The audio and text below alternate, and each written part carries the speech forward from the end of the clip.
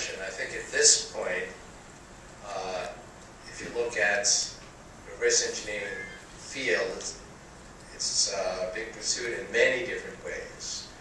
Uh, there are people uh, studying individual neurons that are in a petri dish and alive, and they're studying exactly what it does and how it interacts. And there are models and simulations at many different levels of, of detail.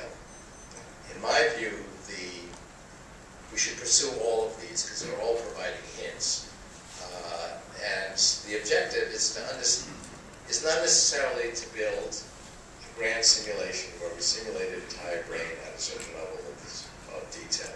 That may be useful at some point as a uh, as a scientific uh, project, but the real objective is to understand the principles of operation.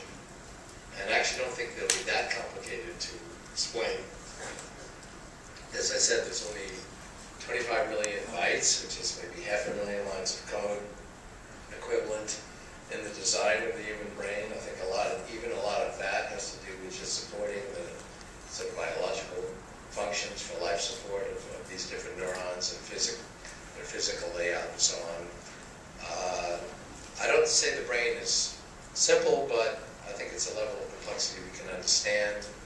And I think ultimately we will come to an understanding along the following lines. So in the cerebral cortex, we have these modules. Uh, this is how what the module does.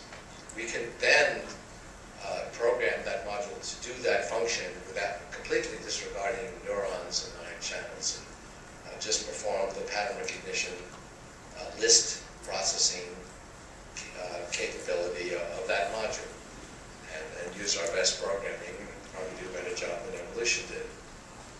Then they're wired together in a certain way.